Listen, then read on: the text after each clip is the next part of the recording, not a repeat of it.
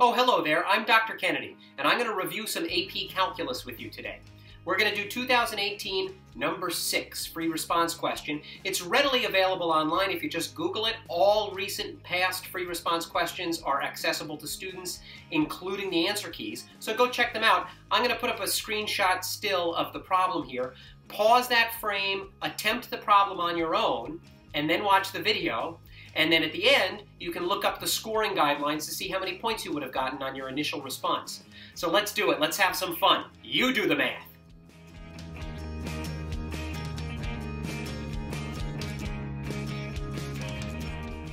All right, so part A gives us a differential equation and a slope field.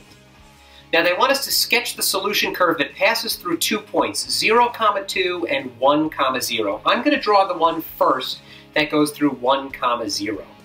So I plotted the point, and now what you do is you just follow the flow pattern of these slopes, okay? So I kind of picture if I was on a raft and the slopes that you see represent, let's say, the current, right?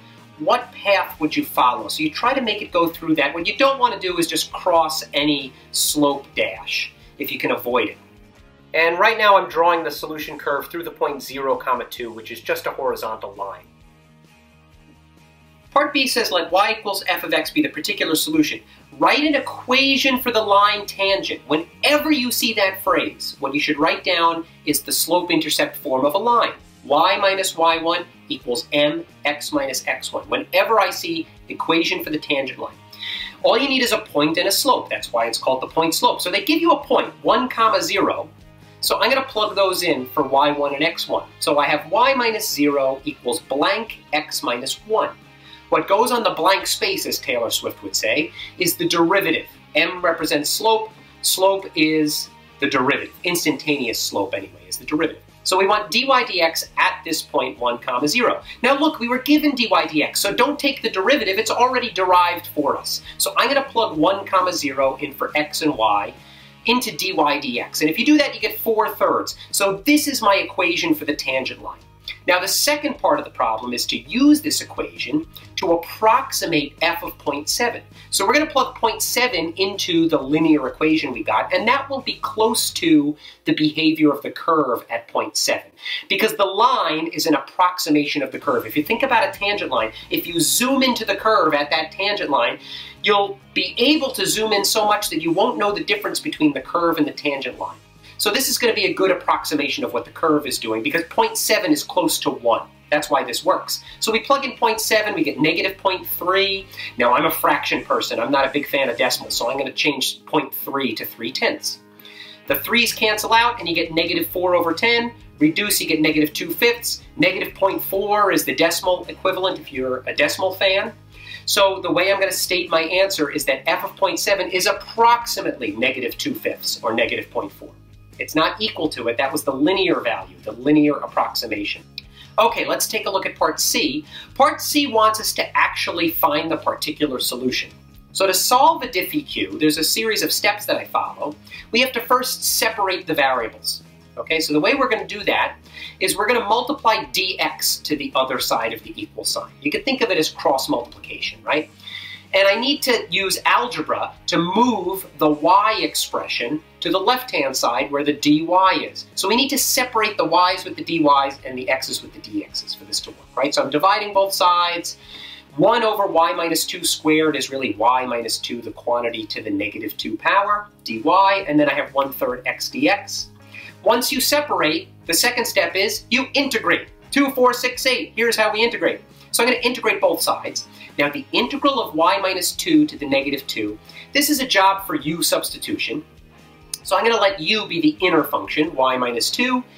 du dy, this should say. I think I wrote du dx. Ah, caught my mistake.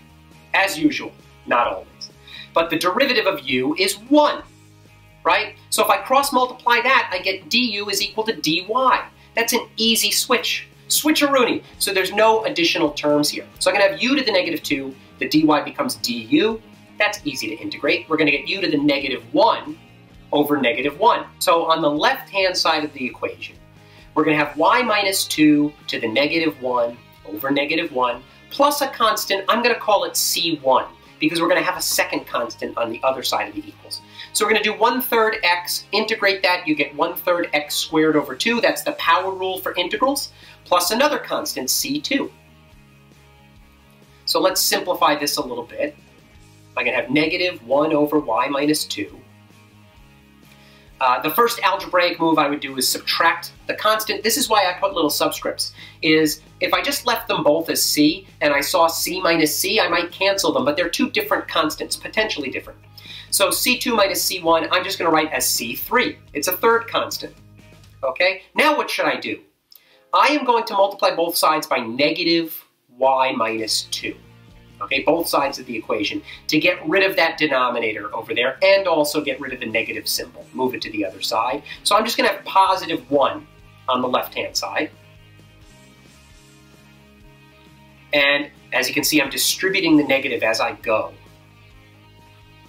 So I'm going to have 1 equals negative y plus 2 times 1 sixth x squared plus the constant, c3, and now I want to solve this for y. I want to get y by itself. So I'm going to divide both sides by this term that has x and the constant in it. So I'm going to have 1 over 1 sixth x squared plus a constant, c3, equals negative y plus 2. And then I could just add 2 to the other side and also negate the other side, right? So I see what I'm doing. I'm adding y to the left-hand side, and I'm going to subtract that complex fraction over to the right-hand side. So I'm going to have y equals 2 minus this fraction, or you could do negative fraction plus 2 if you'd like. But this is my general solution. It's not the nicest looking expression or equation, but it's a general solution. So once you have the general solution, which is y equals something in terms of x, I'm going to plug in the particular value that they gave us, the initial value, 1 comma 0. Plug that in for y and x, and we can find out what the constant is.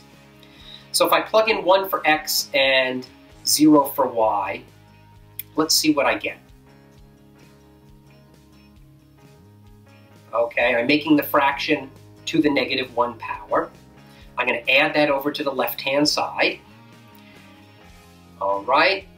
And then to get rid of a negative 1 exponent, we want to raise that to the negative 1 power. Why? Because negative 1 times negative 1 is positive 1. So if you're trying to cancel out an exponent, one way to do that is raise a power to a power and you multiply to try to get 1 as the new exponent. So negative 1 times negative 1 gives me 1. So I'm going to have 1 sixth plus c equals 2 to the negative 1, which is 1 half. I'm going to subtract 1 sixth from both sides. So Get a common denominator, 3 over 6 minus 1 over 6, that's going to give me 2 over 6. And 2 over 6 is also known as 1 third. So now don't stop there, that's not your answer. We want the particular solution. The answer is going to be the general solution with the addition of plus c. So I'm going to replace the c with the constant value that I just solved for, which is 1 third.